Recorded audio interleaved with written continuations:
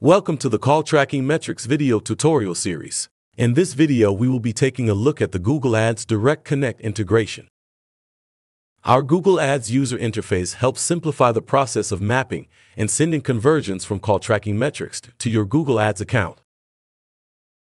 Before we review the setup process of the integration, it's important to know a several things. First, in order to access all of the functions within the Direct Connect integration, you need to have a user role of agency admin within call tracking metrics. Second, it's important to know that while we send the data to Google based on the settings you use, it can take time for Google to process the conversion, so it may not always be immediately visible within ads. Begin by navigating to the menu button, located in the top left corner of the screen. From there, select Settings, and then tap on Integrations. Once you're on the Integrations page, click the Settings button in the Google Ads integration. As you move to the next page, there will be a request for you to log in with your Google profile. Bear in mind, the Google profile you're utilizing must possess Google admin rights. Once you've clicked Allow for the upcoming prompts, Call Tracking Metrics will try to establish a connection with your Google Ads account.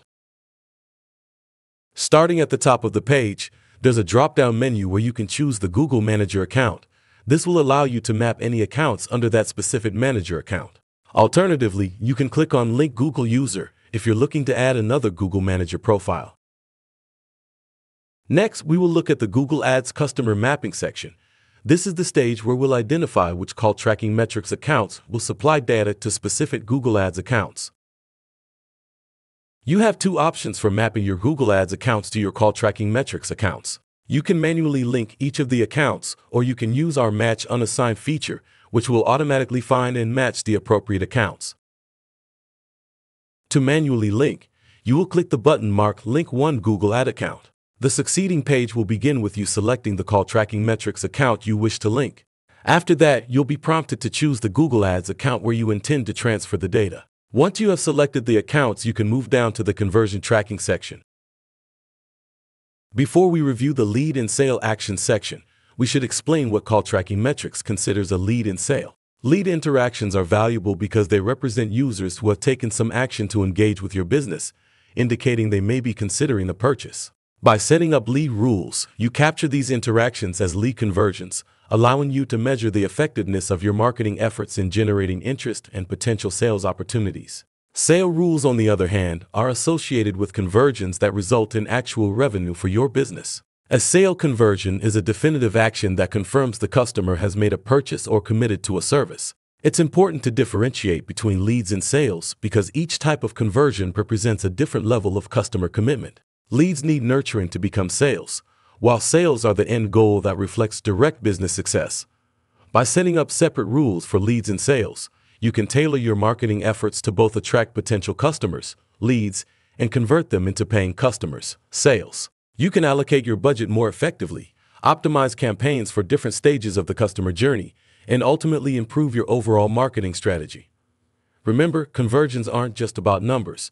They tell a story about how customers interact with your brand from the first encounter to completing a transaction. By capturing and analyzing both lead and sale conversions, you gain valuable insights into that story, which helps in making more informed business decisions. With that being explained, we will now review the lead and sales action section.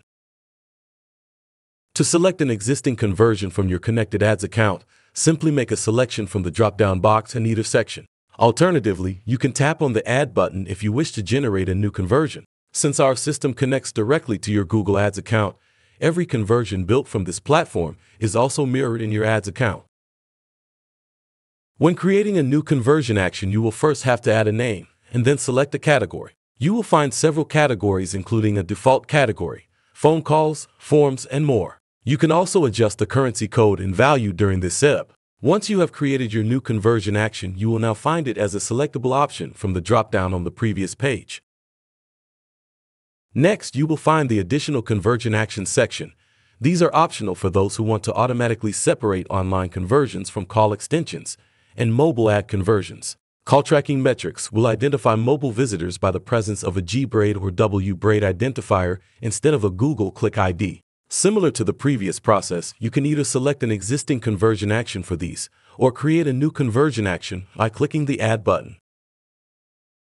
To receive campaign attribution and send conversions for your ad extensions and click to call ads, you must have call reporting enabled within your Google Ads, and for best results, enable it account wide. You also need to select Call Tracking Metrics as your third party call analytics provider. To learn how to enable call reporting, go to support.google.com and search Call Reporting.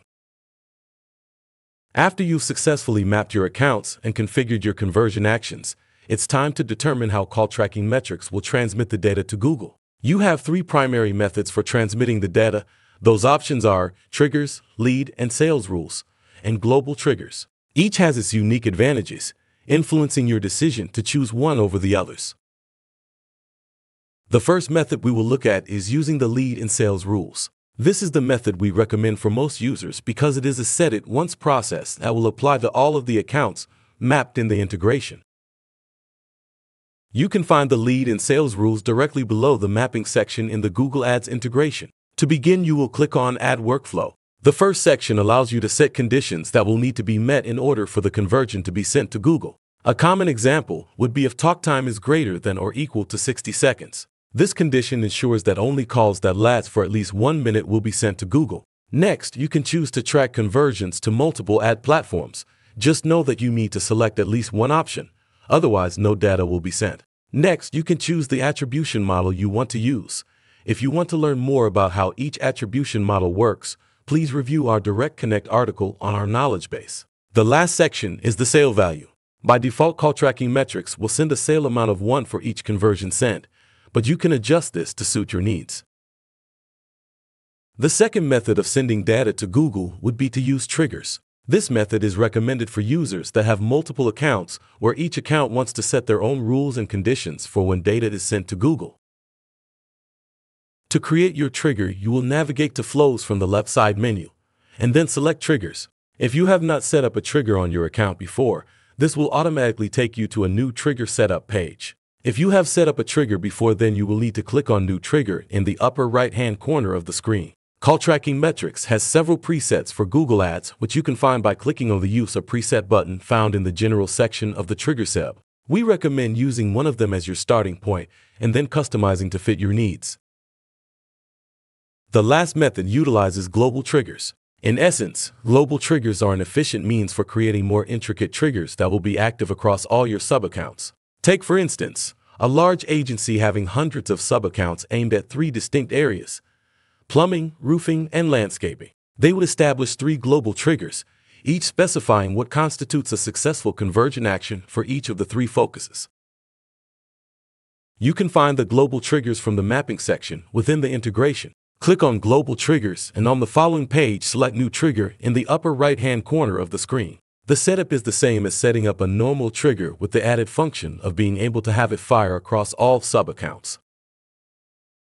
Now that you have finished setting up everything, you can return to the integration at any time to view the reports to stay informed, or you can click on Logs to view a list of conversions sent from call tracking metrics to Google. We will finish by showing the most common setup of the three main Google Ads tracking sources within call tracking metrics. First, we will look at Google Ads. To begin, navigate to Numbers from the left side menu and then select Tracking Sources.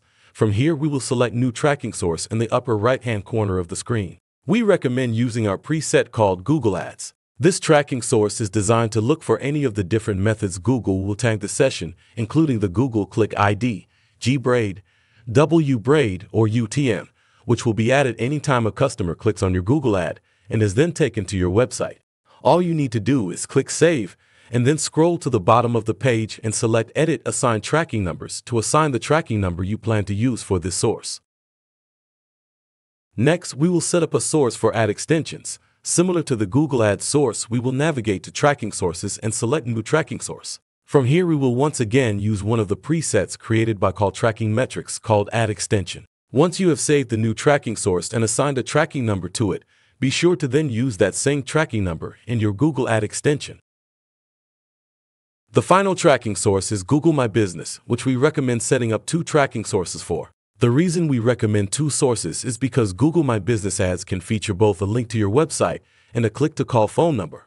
For the website link, we recommend using our Google My Business preset found in the tracking source setup. This will look for the specific tag that gets applied to a visitor's session after clicking on your Google My Business link. For the second Google My Business tracking source, you can once again select the same preset, but this time we will switch the toggle to offsite and then use a different tracking number both for the tracking source and on the ad. This will ensure that calls get attributed to Google My Business regardless of them clicking on your ad or clicking on the phone number. We hope this guide has helped you, and we recommend that you review both our knowledge base and our training center for more detailed information on any of the processes we discussed in this video. Thanks again for watching and be sure to check out some of our other videos to learn more about call tracking metrics.